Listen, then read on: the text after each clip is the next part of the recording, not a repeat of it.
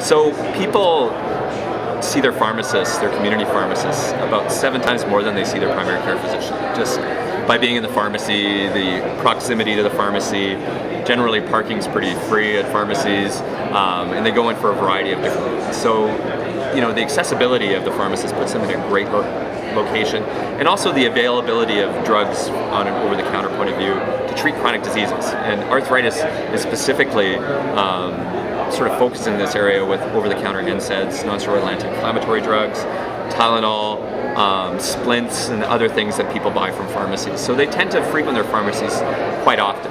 The other thing is, is that pharmacists have been granted a lot of new powers and new roles through increased legislation. So for example, in many provinces across Canada, pharmacists can now inject, so they can give um, vaccines, the flu vaccine, uh, pneumococcal vaccine, amongst a variety of other vaccines without prescriptions.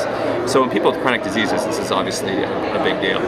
Um, the other thing that pharmacists can do is they can adopt um, screening programs. So for people who have inflammatory arthritis and maybe don't know exactly what kind of arthritis that they have, they can be referred to their pharmacist or pharmacists can look at them and refer them onwards to other healthcare providers who can give them more of a definitive diagnosis.